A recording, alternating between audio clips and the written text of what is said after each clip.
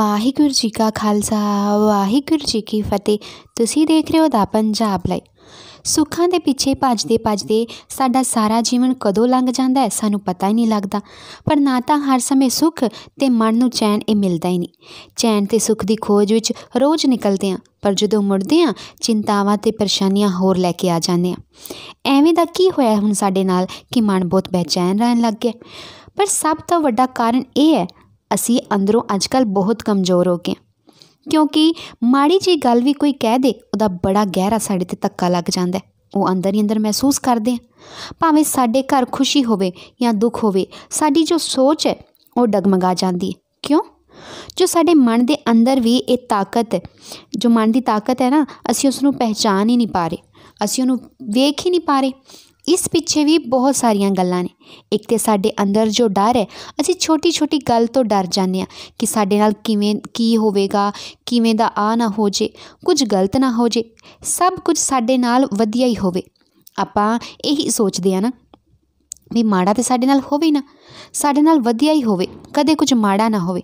ਜਦੋਂ ਤੱਕ ਆਪਾਂ ਉਦਮ ਨਹੀਂ ਕਰਾਂਗੇ, ਤਾਂ ਕਿਵੇਂ ਪਤਾ ਲੱਗੇਗਾ ਕਿ ਹੋਣਾ ਕੀ ਹੈ ਸਾਡੇ ਨਾਲ? ਜੇ ਕੁਝ ਕਿਰਤ ਕੀਤੀ, ਵਧੀਆ ਕੀਤਾ, ਤਾਂ ਕੁਝ ਮਿਲੇਗਾ।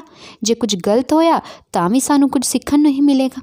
ਸਭ ਤੋਂ ਵੱਡੀ ਗੱਲ ਹੈ ਕਿ ਅਸੀਂ ਡਰਨਾ ਨਹੀਂ, ਭਾਵੇਂ ਕਿਵੇਂ ਦਾ ਵੀ ਸਾਡੇ ਤੇ ਸਮਾਜ ਆਵੇ ਜਾਵੇ। ਖੁਦ ਨੂੰ ਅੰਦਰੋਂ ਇੰਨਾ ਮਜ਼ਬੂਤ ਬਣਾਈਏ ਵੀ ਕਿਵੇਂ ਮਜ਼ਬੂਤ ਬਣਾਵਾਂਗੇ ਹੁਣ? ਚੰਗਾ ਦੇਖ ਕੇ, ਚੰਗਾ ਸੁਣ ਕੇ, ਚੰਗਾ ਸਾਥ ਪਾ ਕੇ ਬਿਨਾਂ ਗੱਲ ਤੋਂ ਉਦਾਸੀ ਨੂੰ ਆਪਣੇ ਅੰਦਰ ਥਾਂ ਨਾ ਦੇਵੋ। ਆਪਣੀ ਜ਼ਿੰਦਗੀ ਨੂੰ ਨਵਾਂ ਮੋੜ ਦਿਓ। ਲੋਕਾਂ ਦੇ ਘਰਾਂ ਵਿੱਚ ਤਾਕਚਾ ਕਰਨੀ ਸਭ ਤੋਂ ਪਹਿਲਾਂ ਛੱਡੀਏ। ਉਹੀ ਸਮਾਂ ਗੁਰਬਾਣੀ ਨੂੰ ਦਈਏ। ਉਹੀ ਸਾਡੀ ਸੋਚ ਤੇ ਸਾਡੇ ਅੰਦਰ ਹੈ ਨਾ ਜੋ ਉਹਨੂੰ ਉੱਚਾ ਬਣਾਏਗੀ। ਜੀਵਨ ਪੱਧਰ ਉੱਚਾ ਹੋਵੇਗਾ। ਰੋਜ਼ ਸਵੇਰੇ ਉੱਠ ਕੇ ਅੰਮ੍ਰਿਤ ਵੇਲਾ ਸੰਭਾਲੀਏ। ਵਾਹਿਗੁਰੂ ਦਾ ਨਾਮ ਲਈਏ। ਕਿਉਂਕਿ ਇਸ ਨਾਲ ਹੀ ਪੂਰੇ ਤਨ, ਮਨ ਵਿੱਚ ਜੋ ਸ਼ਾਂਤੀ ਤੇ ਸਕੂਨ ਆਣਾ ਹੈ, ਉਹ ਹੋਰ ਕਿਤੇ ਨਹੀਂ ਮਿਲਣਾ। ਅੱਜ ਸਾਡੇ ਨਾਲ ਜੋ ਹੁੰਦਾ ਆਪਾਂ ਕਹਿੰਦੇ ਆ ਬਿਨਾ ਨਾ ਰੱਬਾ ਤੂੰ ਹੀ ਗਲਤ ਕੀਤਾ ਪਰ ਆਪਾਂ ਇਹ ਨਹੀਂ ਦੇਖਦੇ ਕਿ ਆਪਾਂ ਖੁਦ ਵੀ ਤਾਂ ਉਹਦੇ ਜ਼ਿੰਮੇਵਾਰ ਆ ਉਹ ਗੱਲ ਸਾਡੇ ਅੰਦਰ ਜਿਵੇਂ ਕੁਝ ਮਾੜਾ ਹੋ ਜੇ ਉਹ ਬਾਰ-ਬਾਰ ਬਾਰ-ਬਾਰ ਚੱਲਦੀ ਰਹਿੰਦੀ ਜਿਵੇਂ ਰਿਪੀਟ ਟੈਲੀਕਾਸਟ ਹੁੰਦਾ ਭਾਵੇਂ ਕਿੰਨੀ ਕੋਸ਼ਿਸ਼ ਕਰ ਲਈਏ, ਉਹ ਸਾਡੇ ਮਨ ਵਿੱਚੋਂ ਨਿਕਲਦੀ ਨਹੀਂ। ਪਰ ਜਦੋਂ ਅਸੀਂ ਵਾਹਿਗੁਰੂ ਦਾ ਨਾਮ ਲਵਾਂਗੇ, ਸਾਡੇ ਅੰਦਰ ਬਾਹਰ ਉਹ ਵਾਹਿਗੁਰੂ ਦਾ ਨਾਮ ਹੀ ਹੋਵੇਗਾ।